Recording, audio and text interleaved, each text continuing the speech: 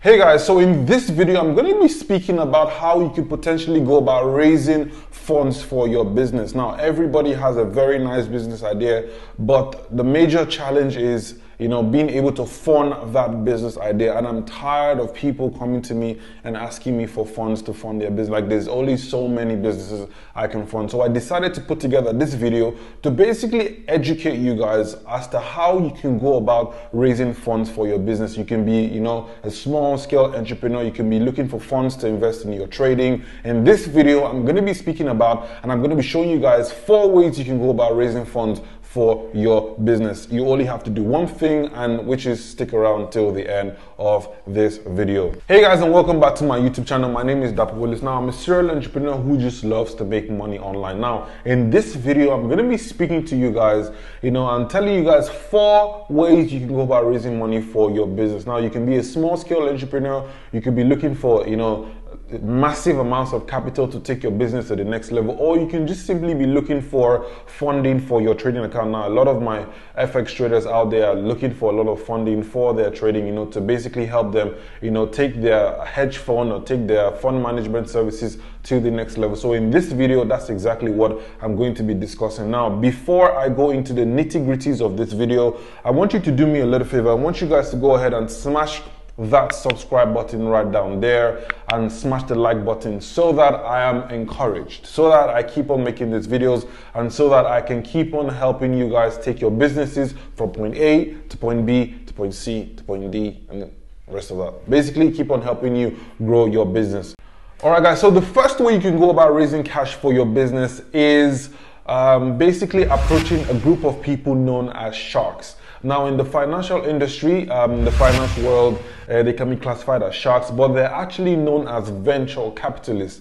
Uh, venture capitalists are kind of like the people you see on Dragon's Den. If you watch Dragon's Den, uh, those people are pretty certain you come across them. They sit on, they're probably four or five sat in front of a panel. They are the panel literally, and then you go and present your business idea before them. So this is the first way you can go about raising money for your business. Now you have to remember that these guys that are sat in, that are sat on the panel are um, business people who have been doing business for a very long time. So they're very intelligent business people and they're very skilled and sophisticated investors. So you have to ensure that when you're going to approach these people, you have to have your A game intact. Literally, you have to have your proposals all speak in span. You have to have your cash flow analysis ready because they're going to be asking you a lot of, a lot of intelligent questions. You have to remember that these guys have been doing that's the dragons, the sharks I like to call them the sharks. The sharks, these guys have been doing business for years.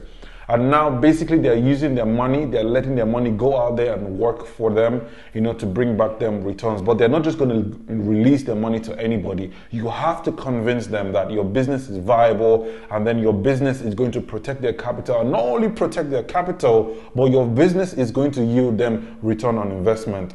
Now, you have to remember that sharks you have to be very careful with sharks because from my own experience, if a shark wants to lend you money, be the sharks obviously are known as venture capitalists, they're known as dragons, people on dragons and stuff like that. If they want to lend you money, they are definitely, most certainly and most definitely going to request for equity in your company.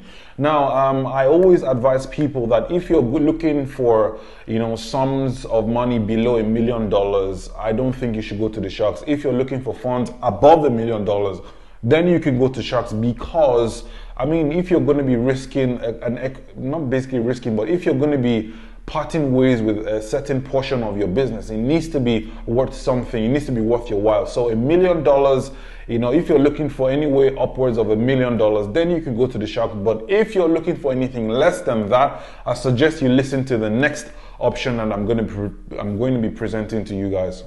Now guys, the second way you can go about raising funds for your business is by approaching a group of people known as dolphins. Now, in the finance world, dolphins can be classified as financial institution. The banks, the microfinance banks, the small scale um, loan houses and stuff like that, those are known as the dolphins. Now, the dolphins, as you know, are not, are, are not as aggressive as the sharks, but they can buy it when they need to buy it okay? And the thing about the banks is like same as the sharks you also need to be prepared in terms of your cash flow analysis your proposal everything needs to be speak and span before you can go ahead and approach the dolphins for your you know funding and for you to be able to get money from them. And the thing about banks banks are like this they're so tight before they give you money, right? My days. I remember when I wanted to fund my very first um, logistics and transportation business, I approached a couple of bankers and they wouldn't give me any money. The thing about banks you also have to remember is banks only loan to people that do not need money. Banks only loan to people that already have money. It's crazy, right? It's a crazy world. But they need this is because they need to cover their own assets. Banks will never loan to a first time entrepreneur. And this is where a lot of entrepreneurs get it wrong. They think they can just walk into the bank and then the bank is going to give them all this money, or they have this really nice business proposal and then they just package it and then they're going to go to the, they're going to give it to the banks. The banks don't operate like that. The banks need to see some form of track record. They need to see that you've been doing perfectly fine by yourself. If you're going to go to the bank, ensure that your business has been running for a while and that you just need the bank to go from a certain point to another point, not from scratch. The bank will never give you money to start any business from scratch. And you have to understand that the banks are in the business of interest. They make money from interest. They make money from the interest from they make money from interest that they give to you capital that they give to you and then you pay them back so the interest from that capital given to you is how banks make their money now if you do not if you're unable to pay back that money it is a loss to them and banks do not need they do, they do not like to lose money so just think about it from their own perspective it's not that they hate you or anything it's just the way the business world works so guys the second way to go about raising funds for your business is known as what? The dolphins. Dolphins are the banks. And if you want to go to the banks, ensure that your business has been running for some time and you just need that extra push. Basically, I would go to a bank to fund my business if I needed to expand, not if I needed to start it off from scratch. All right, guys. So that's that's pretty much dolphins for you.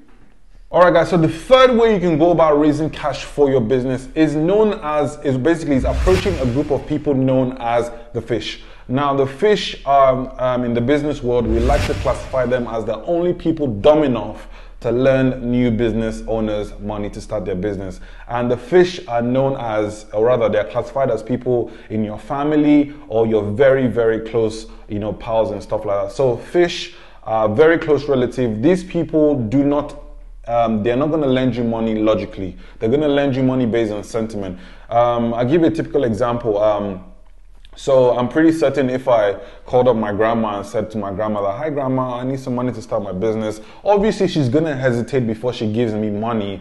But you know, if I just fly over to her house and just spend like two weeks there and just, you know, sulk a little bit, just be sad and just tell her how much I love her, eventually she's gonna call me over like, all right, Dabs, come and tell me what you need this money for. I just explain to her a little bit, just, you know, tell her how much I love her. And then eventually she's gonna lend me the $10,000. So guys, yeah, fish are people in your family, fish are your close friends who do not invest in your business logically, they will invest based on sentiment, and they do this just because they love you, you know. So um, if you want to go about um, raising some money for your business, um, your family and close friends are probably a good way to go about it. However, there's always a downside to that because um, you just imagine you, you, you borrow money from your family member and you're unable to pay back. Let's say you haven't really tested the business because they didn't ask you for a cash flow analysis. They didn't ask you to project nothing. They didn't, they, you know, they didn't really do their due diligence as to how, due diligence as to how you're going to pay this money back.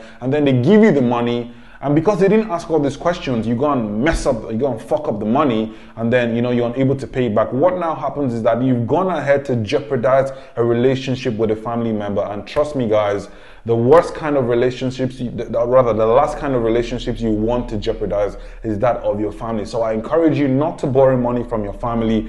Uh, yes, I would not be borrowing money from my grandma because um, I just don't want a situation whereby I, I can't afford to pay her back. Um, Obviously, not that I need the money for any investments or anything of that sort. However, I'm just saying in your own situation, don't go around asking family members except you absolutely need it. Except you absolutely need it. Okay? So the shark isn't going to give you money. The fish really isn't going to give you, especially if you're new. The people that are most likely going to give you money are the fish, people in your family, your mom, your dad, your grandma, just like in my case you uh, know, stuff like that. All right, guys. Now, guys, the fourth way, and which I think is the best way you should go about raising money for your business, is known as your customers. Your customers I feel is the best way to go about raising money for your business. Like personally, I don't like I never took money from any bank. I mean, I remember I tried to take money from the bank, they wouldn't give me. I tried to take money from loan sharks you know. But those guys, you know, it was it was definitely a no go area. So I couldn't get money from you know the the dolphins, which are the banks. I couldn't get money from the sharks,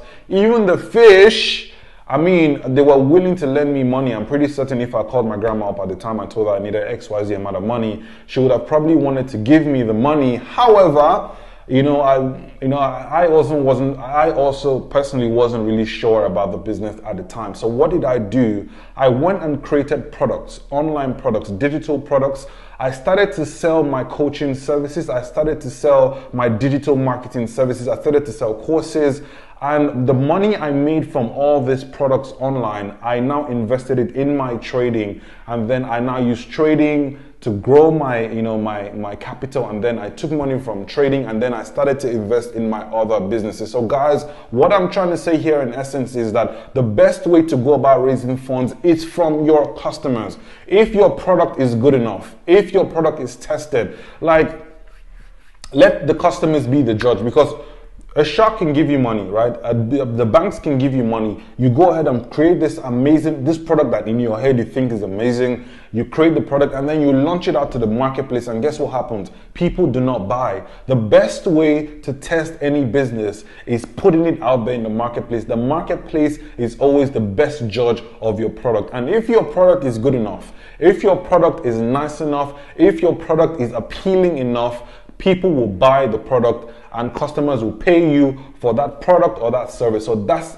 basically the best way to go about raising money for your business. I have a lot of friends who come to me and they want me to invest money in their businesses and I always tell them that hey guys, if your product is good enough, launch a few. Now guys, I have this strategy. Now I'm going to round this up with this strategy, right?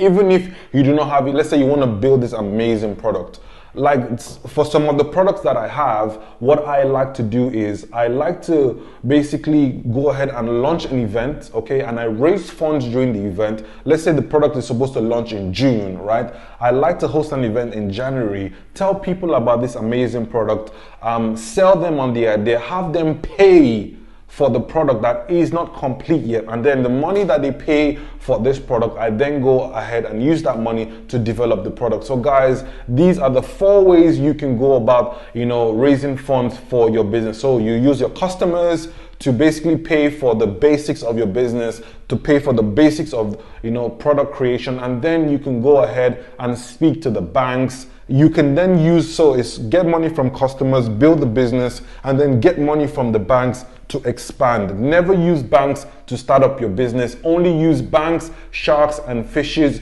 to expand your business. Only use, um, sorry, customers are for product creation. Customers are to basically get you started after you get started, maybe your grandma or your mom or your dad can invest so that you can scale the business. And then you can now obviously have a very viable business that has a track record. And then you can now go up to the, to the dolphins, which are the banks. And then the banks can even loan you more money. So typically a bank will typically loan you between 250 to 1 million US dollars. And then once you've got into a, a stage whereby, you know, you, you have you know, an office running, you have, you know, um, products are basically products are being pushed out and clients are paying you for these products. Now you can now approach the sharks who are going to invest. Like guys, the, the venture capitalists do have a lot of money. They have so much money. And trust me, once you've been able to get your business up to a certain extent, the sharks will be definitely, definitely glad to invest in your business. Now, guys, I hope I've been able to educate you guys as to how you can go about raising funds for your business. Before you go anywhere, I want you guys, if you haven't already subscribed, go ahead and smash the subscribe button and drop me a comment and tell me which of these Tell me which of these forms of raising cash you're going to be looking into. And if you have a nice business idea, just type it in the comment section below and then we can have a chat. All right, guys, thank you so much for watching till the very end. And I love you guys very much. All right, guys, take it away.